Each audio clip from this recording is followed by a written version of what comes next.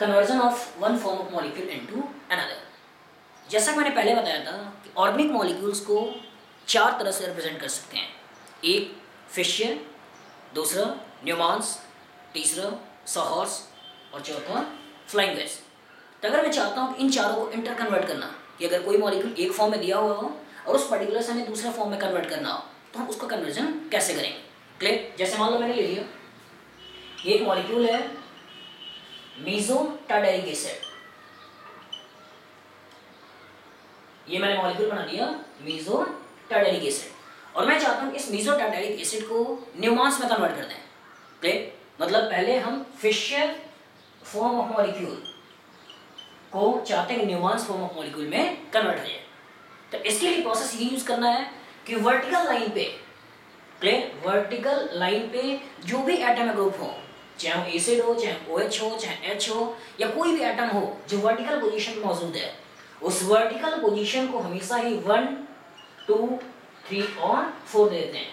हमें प्रियोरिटीज नहीं देखनी है, हमें केवल वर्टिकल पोजीशन एटम को देखनी है, और वर्टिकल पोजीशन के एटम को देखते हुए हमने नंबरिंग दे दिया वन टू थ्री और फोर अब इस पर्टिकुलर को अगर मैं न्यूमांस में लिखना चाहता हूँ तो न्यूमांस में लिखने के लिए एक बना लें पॉइंट और एक बना लें सर्किल इस पर्टिकुलर सेकंड पे राइट हैंड साइड में ओ OH है लेफ़्ट हैंड साइड में एच है और ए से। तो इसका मतलब सबसे पहले हम इसमें भी वर्टिकल पोजीशन को इंडिकेट करेंगे। तो इसका मतलब ये पोजीशन था वर्टिकल तो इसमें भी ये पोजीशन है वर्टिकल तो इसका मतलब यहाँ पे होगा वन ये होगा टू ये होगा थ्री और ये होगा फोर फिर से बोल रहा हूँ वर्टिकल पोजीशन पे जो भी एटम ग्रुप हो क्लियर बिना प्रियोरिटीज के इस पर्टिकुलर को वन टू थ्री और फोर पे प्लेस कर दो. वन पे जो भी एटम ग्रुप हो, इस केस में सी ओ एच फोर पे जो भी एटम ग्रुप हो, इस केस में यहाँ पे सी ओ एच अब चेक करिए.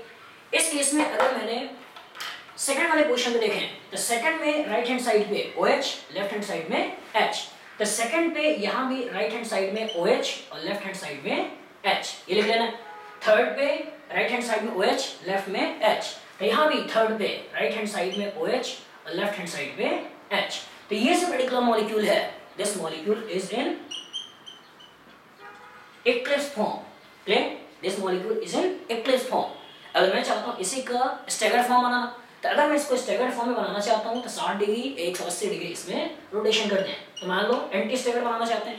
तो एंटी स्टेगर बनाने के इसमें मैंने वन एट्टी का रोटेशन कर दिया. तो अगर मैं वन एट्टी का रोटेशन कर दूँ तो इसमें पीछे वाले को एज सच फिक्स रख लो और सामने वाले को वन एट्टी रोटेट कर दो। तो इसका मतलब अगर मैंने सामने वाले को वन एट्टी का रोटेशन कर दिया, अब ये ऊपर चला जाएगा और ऐसा बन जाएगा। पीछे वाला अपनी पोजीशन पे फिक्स रहेगा।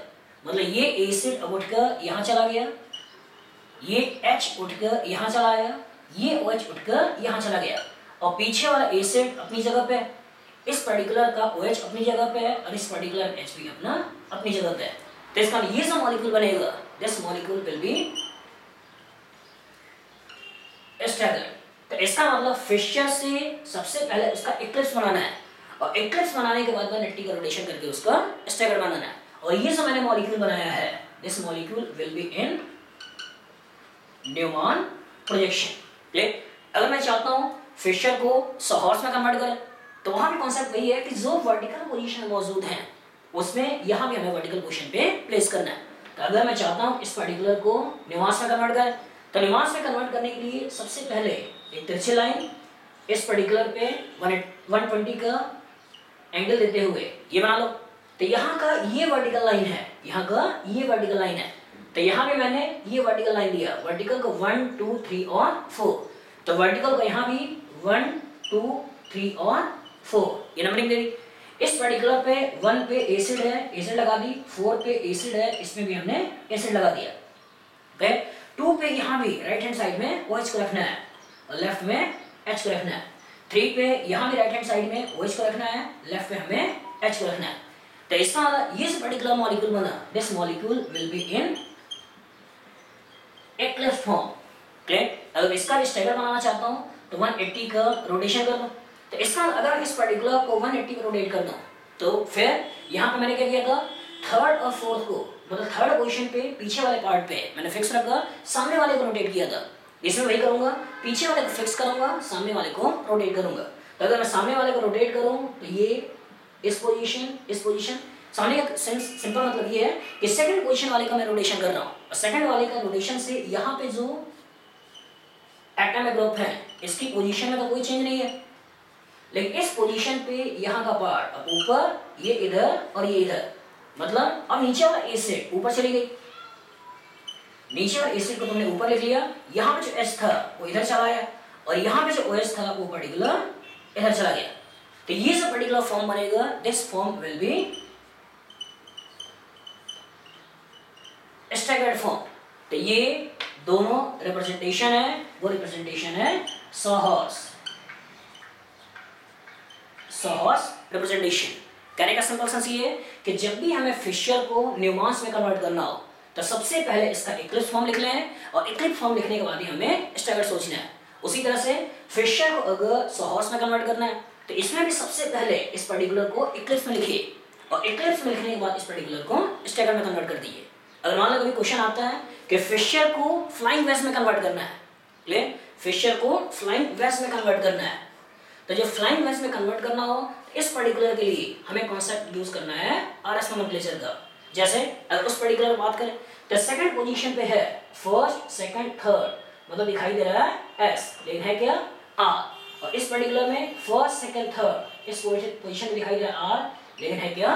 एस तो इसका मतलब इस पोजीशन पे हमें लिखना है आर और इस पोजीशन पे हमें लिखना है एस तो सबसे ज़्यादा परेशान करने वाला है, वो एटम कौन सा होता है? एच तो एच को पहले से हाइड्रोजन को लेंगे पीछे ले लो। अगर मूवमेंट हमें क्लॉकवाइज चाहिए तो इसका मतलब ये फ़र्स्ट पीरियोडिक होनी चाहिए, ये सेकंड पीरियोडिक होनी चाहिए, ये थर्ड पीरियोडिक होनी चाहिए। तो यहाँ पे आप लगा लो ओ एच यहाँ पे लगा लो सी ओ एच और ये तीसरा ग्रुप और इसी के बेसिस पे first to second second to third अपने मूवमेंट क्लॉकवाइज सोच लिया। सेकंड पे अगर होना चाहिए एस मतलब ये होना चाहिए फ़र्स्ट ये होना चाहिए सेकंड ये होना चाहिए थर्ड तो यहाँ पे लगा दो ओ एच यहाँ पे लगा दो सी ओ एच मतलब फ़र्स्ट सेकंड और यहाँ पे अपने अपने आप ही ग्रुप बन गया, हो गया थर्ड तो इंपॉर्टेंट क्या था?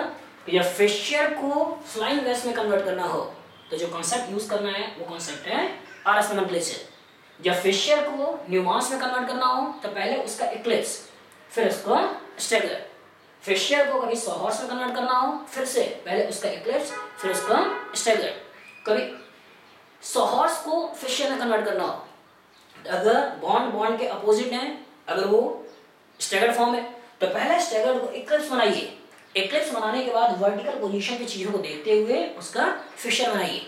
अगर कभी क्वेश्चन में न्यूआंस का स्ट्रगल लिखा बॉन्ड अपोजिट हो तो इसमें भी इस स्ट्रगल को पहले उसके इक्लिप्स में कन्वर्ट करिए।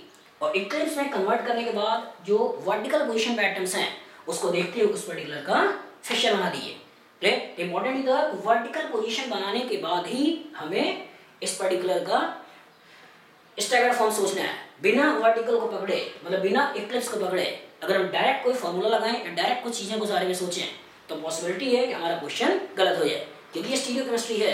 चीज़ें दिखाई देंगी एक जैसे हैं, लेकिन ओरिजिनली एक जैसे नहीं होगी। जैसे मान लो एक मॉलिक्यूल मैंने ये ले लिया, और दूसरा मॉलिक्यूल अगर मैं ये ले लूँ, और दूसरा मॉलिक्यूल में ये ले लूँ ये सी ओ एच है। ये सी ओ एच है, ये ओ एच है, ये ओ एच है एच है और एच है। और एक केस में ये ले लो, जिसमें ये सी ओ एच है, ये सी ओ एच है, ये ओ एच है, ये ओ एच है और ये एच है और ये एच है। क्लियर चेक करिए। इस पर्टिकुलर फॉर्म को अगर एनालाइज करो तो अगर मैं इसको 60 डिग्री घुमा दूँ एसिड एसिड के ऊपर चला जाएगा ओ एच ओ एच के ऊपर चला जाएगा एच एच के ऊपर चला जाएगा। तो इसका ये जो फॉर्म है, ये फॉर्म भी है मीजो अब इसको एक सौ अस्सी डिग्री रोटेट कर दूँ। तो एसिड एसिड के ऊपर ओ एच ओ एच के ऊपर एच एच के ऊपर। इसका ये जो पर्टिकुलर फॉर्म है, ये फॉर्म है मीजो लेकिन उसको ध्यान से देखिए। इस वाले फॉर्म को अगर मैंने 60 डिग्री रोटेट किया एसिड एसिड पे चला जाएगा।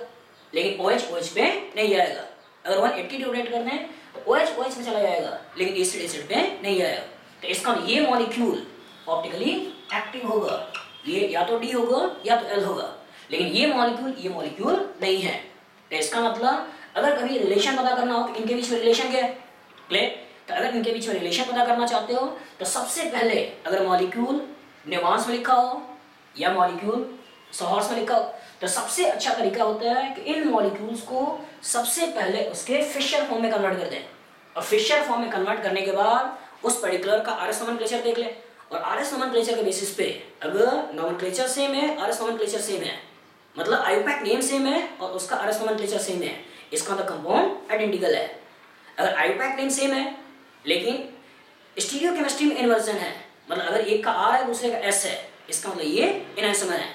लेकिन अगर आर एस नोमेनक्लेचर में एक जगह सेम हो और दूसरी जगह पे डिफरेंस आ जाए, जैसे एक आ जाए आर आर दूसरा आ जाए आर एस तो इसका इस तरह के जो केसेस होंगे, जो मैं पहले बता चुका हूँ, वो आपस में डायस्टीरियम है। तो तरीका कि अगर कभी भी मॉलिक्यूल्स दो अलग अलग फॉर्म में लिखे हों तो उस पर्टिकुलर में फिशर और फिशर और फ्लाइंग वेस में कॉन्सेप्ट यूज़ करना है आर एस क्योंकि मेनली यूज़ होते हैं ऑप्टिकल के लिए। और सोहर्स और न्यूआंस को सबसे पहले फिशर में कन्वर्ट करना है और कन्वर्ट करने के बाद आर एस के बेसिस पे उनमें रिलेशन बताना है।